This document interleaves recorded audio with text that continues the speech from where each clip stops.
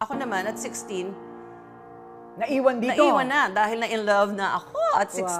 So, you know, Right. sabi naman ng tatay ko, puppy love lang yan. But I didn't understand, you know, I was Oo. already pregnant.